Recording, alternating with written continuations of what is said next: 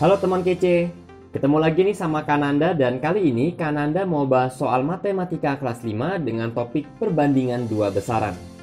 Teman kece sudah siap? Yuk kita kerjain soalnya bareng-bareng. Debit pompa bensin 125 liter per menit. Untuk mengisi tangki bensin sebanyak 150.000 liter, waktu yang dibutuhkan adalah berapa jam nih teman kece?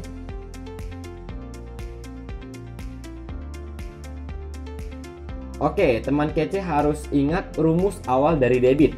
Rumus debit adalah volume dibagi waktu. Nah, di soal yang ditanyakan adalah waktu.